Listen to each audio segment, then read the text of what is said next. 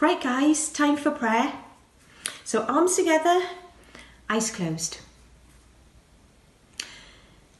Dear Lord, thank you for teaching us today about your power and your strength. And thank you for teaching us, Lord, that with your power comes victory. And Lord, sometimes we we want to do what we want to do rather than follow you and do what you want us to do.